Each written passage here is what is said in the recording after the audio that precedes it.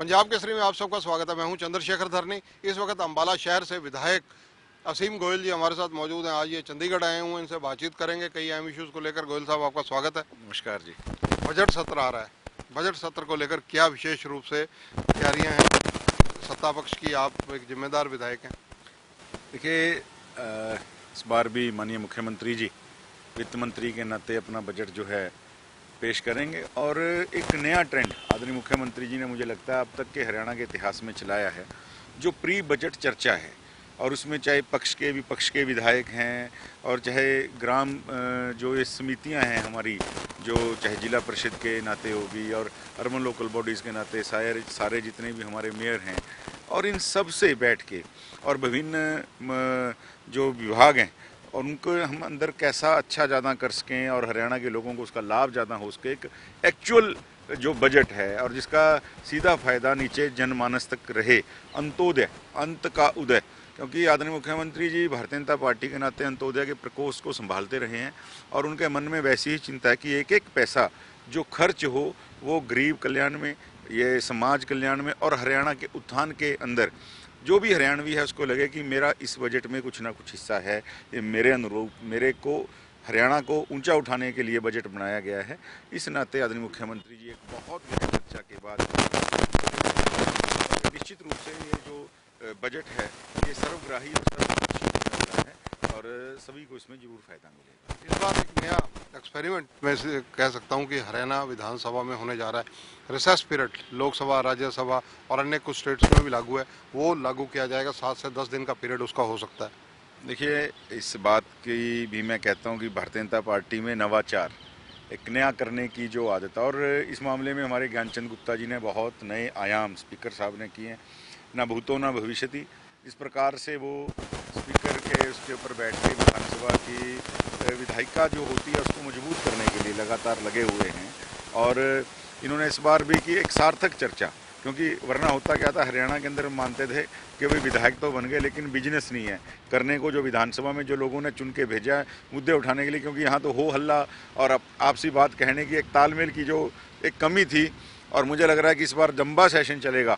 सब तो विधायकों को अपनी बात कहने का मौका मिलेगा, सब अपनी विधानसभा, अपने क्षेत्र की बात और जो रिसेस वाला बजट एक सार्थक चर्चा कि भाई नीचे तक वो बजट लगे, उसकी अनुभूति हो। और ये नवाचार इस बार आदरणीय स्पीकर ज्ञानचंद गुप्ता जी कर रहे हैं। मैं उनको बहुत बधाई भी देता हूँ आपके चैनल के माध्यम से। और ये बात कहना चाहता हूँ कि हरियाणा निश्चित रूप से, हरियाणा की इस पहल को देख के और विधानसभाएँ भी पूरे देश में इस मॉडल असीम जी अम्बाला शहर आपका अपना कर्म भूमि है। वहाँ के लिए इस बजट में क्या देखते हैं? देखिए अम्बाला शहर के अंदर जो ऑन गोइंग प्रोजेक्ट्स हैं, वो काफ़ी चल रहे हैं और उनके को पूरा करने के लिए बजट चाहिए। उस बजट के अंदर मतलब उनका तो प्रावधान ही है लेकिन नए के नाते एक आई की स्थापना और एक हमारा वीटा का प्लांट जो है, उस नाते से जो हमने अपनी बात में वहाँ रखूँगा। इस बार के बजट में नहीं आएगा तो अगली बार प्रावधान ज़रूर हो जाएगा।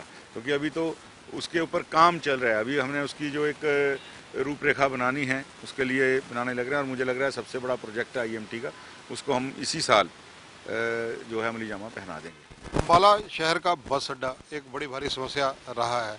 उसकी स्थिति क्या है, अपने दर्शकों के लिए पूछना चाहूँगा आपसे। और दूसरा, इसी से जुड़ा हुआ सवाल अम्बाला का, क्योंकि वो समस्याओं में आता है, इसलिए इकट्ठे पूछ रहा हूँ। कपड़ा मार्केट बुरी तरह से प्रभावित है। कुछ कोविड की मार, कुछ व्यापारिक मार।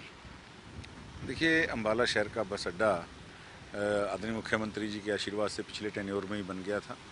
और क्योंकि उसके अंदर कुछ ऑफ़िस जो हैं शिफ्ट होने थे डीटीओ के आरटीओ के, वो काम लगभग पूर्ण होने के ऊपर है। लेकिन बस अड्डा आम सुविधा के लिए दो साल पहले खोल दिया और रही बात जहाँ कपड़ा मार्केट के व्यापारी निश्चित रूप से बहुत ज़्यादा एशिया की एक चुनिंदा कपड़ा मार्केट्स के अंदर अम्बाला शहर का नाम था।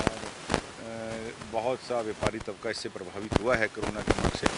आ, लेकिन सरकार ने जिस तरह व्यापारियों को आगे बढ़ाने के लिए योजनाएँ चलाई हैं और कोरोना का ये नाते जो व्यापारी अपने व्यापार को आगे नहीं बढ़ा पा रहे और उनके लिए दिक्कत आ रही है तो सरकार से एक स्पेशल योजना की हमने मांग भी की है और अब उसमें देखते हैं कि सरकार का इसमें रुख क्या रहता है। लेकिन हमने मांग की है कि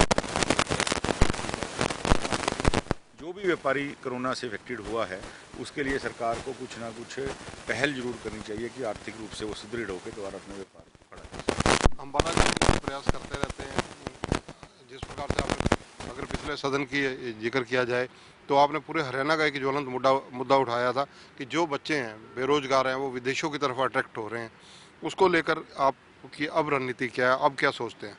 देखिए, उसके लिए माननीय मुख्यमंत्री जी से मेरी बात हुई। मैंने उनसे निवेदन भी किया था कि एक ओवरसीज़ कॉरपोरेशन का जो पुनर्गठन किया जाना चाहिए और माननीय मुख्यमंत्री जी के माध्यम से हम विषय को केंद्र में भी लेके जाएँगे और मैं उसके ऊपर कुछ नोट्स बना रहा हूँ और बजट के बाद निश्चित रूप से आदरणीय मुख्यमंत्री जी के आशीर्वाद से इसको ऊपर तक पहुँचाएँगे कि लीगल तरीके से जो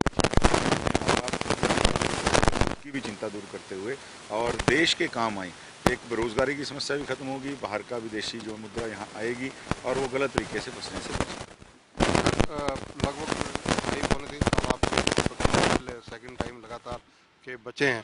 इसमें आपके ड्रीम प्रोजेक्ट जो बचे हैं उनमें से अहम चीज़ें क्या रहने वाली हैं? कि सबसे बड़ा एक ही प्रोजेक्ट है आईएमटी और आईएमटी को हम अपने इस कार्यकाल में स्थापित करवा के धन्यवाद असीम गोयल जी। तो ये हैं असीम गोयल अम्बाला शहर से विधायक हैं। बजट सत्र को लेकर जहाँ इन्होंने सीएम साहब की तारीफ़ की कि प्री बजट को लेकर चर्चा की जा रही है वहीं रिसर्च पीरियड जो हरियाणा में इम्प्लीमेंट हो, होने की तैयारी में है उसको लेकर भी इन्होंने स्पीकर ज्ञानचंद गुप्ता की सराहना की। कैमरामैन संजय सिंह के साथ चंद्रशेखर धरनी पंजाब केसरी टीवी, चंडीगढ़। हमसे जुड़े रहने के लिए हमारे YouTube चैनल को सब्सक्राइब करें और नई वीडियो की नोटिफिकेशन के लिए बेल आइकॉन को दबाएँ। अगर आप ये वीडियो Facebook पर देख रहे हैं तो लाइक ज़रूर करें और ज़्यादा से ज़्यादा शेयर करें। धन्यवाद।